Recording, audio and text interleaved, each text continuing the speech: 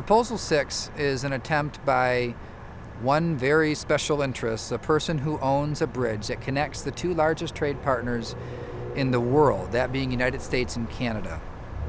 The person who owns that bridge desperately wants to avoid competition. Proposal 6 would seek to delay additional private sector investment to better connect Michigan to its most important trade partner. 237,000 jobs in Michigan today rely on trade with Canada.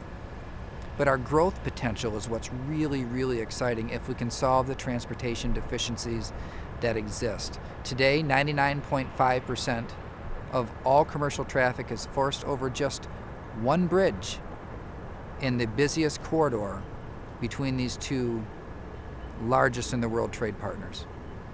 It's an economic risk, a security risk, a maintenance risk that we simply can't afford to have here in Michigan. That's why we need to aggressively move toward providing a modern, end to end, freeway to freeway connection between Michigan and all the things made and grown everywhere in the state and Canada that consumes 50% of everything that we export.